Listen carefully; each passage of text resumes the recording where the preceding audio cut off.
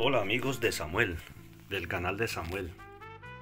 Eh, hoy quiero enseñarles una jugada que se llama el enroque. ¿Sí? ¿En qué consiste? Puede ser con, con el rey y esta torre o con el rey y esta torre. ¿En qué consiste? En hacer, en cambiarlos de posición como para darle más protección al rey, ¿sí? Pero hay unas condiciones si ya ha movido la torre o el rey, no se puede hacer el enroque. Si el rey está en jaque, no se puede hacer el enroque. Si al hacer el enroque el rey queda en jaque, tampoco se puede hacer.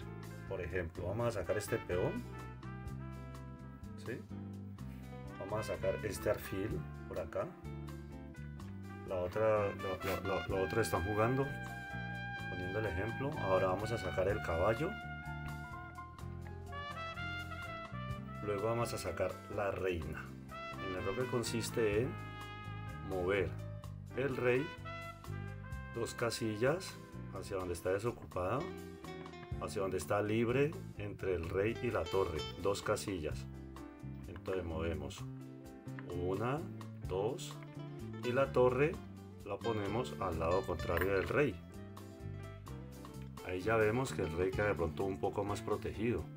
¿sí?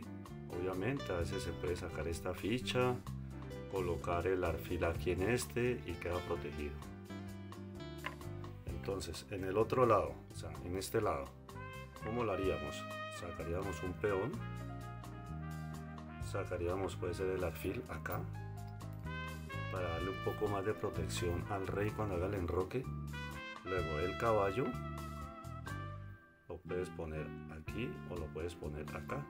En este caso pongámoslo acá. Aquí ya queda libre entre el rey y la torre. Recuerde, si el rey está en jaque o ya lo ha movido o la torre ya la ha movido, no puedes hacer el enroque.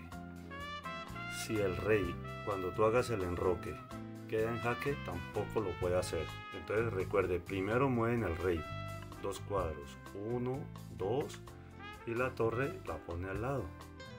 Entonces, este es el enroque.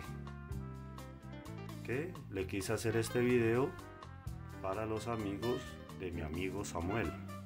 Acuérdense, suscribirse, darle like. ¿Vale? Bueno, que estén muy bien espero les haya gustado mi ajedrez.